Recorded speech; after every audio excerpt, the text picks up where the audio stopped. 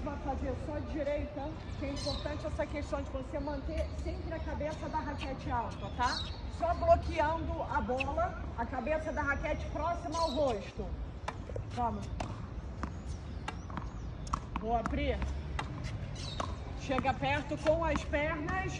Vamos? Perfeito, a cabeça alta. Aí. Vamos back? Agora é o desafio.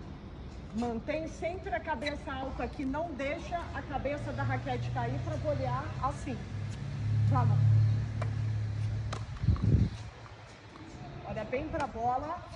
Posição inicial, não muda a empunhadura. Vamos.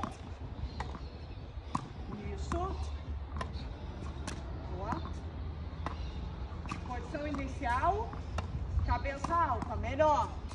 Melhor isso, hein, Pri?